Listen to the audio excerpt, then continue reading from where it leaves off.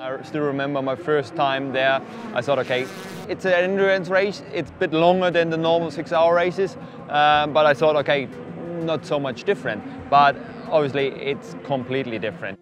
Le Mans, um, obviously 24 hours, starts at 3 o'clock on the Saturday, finishes at 3 o'clock on the Sunday. Um, three drivers per car, so you know, roughly eight hours each, but it doesn't always work like that. Um, one year I did 10 hours.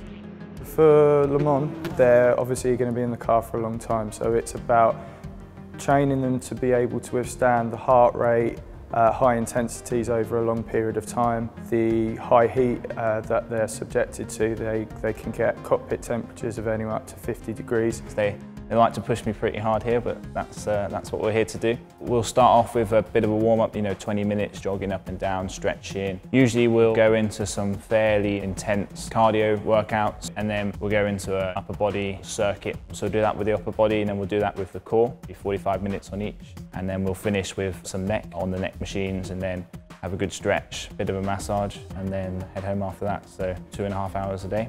The most important thing with training the neck is the safeguarding of it because it is a small group of muscles and you can't just load it up with heavy weight.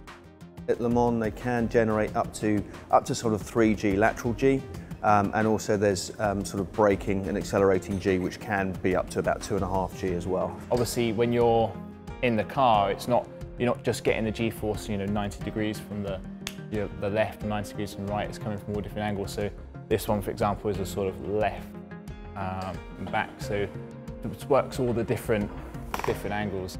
The most common injury depends. Um, it can be um, anything from buttock to, to um, lower leg cramps. It could be to spasms in the head and neck. It can be into sort of the shoulders as well. Bad ergonomics can actually shorten a driver's ability to stay in the car. With the setup we've got at Ford, we've been able to eliminate that part. Nutrition is individualised, but generally speaking it's about the timing of your macronutrients, which are your carbohydrates, protein and fats. What we're trying to avoid is spikes in insulin levels. On average, they will lose uh, anything up to kind of three litres in a three hour stint. So they ideally want to take on about 12 litres of water uh, over a 24 hour period. So that's where it's important that you don't have a mix too heavy in water or too heavy in electrolyte because it's all about maintaining that balance. If they're driving on average eight hours out of the 24, the rest of the time ideally would be sleeping. Um, doesn't always happen. Um, and again, it's quite difficult for the drivers to switch off. You're not sleeping, you're always listening to the radio, uh, what the other drivers are saying and try to hear if your car's still running.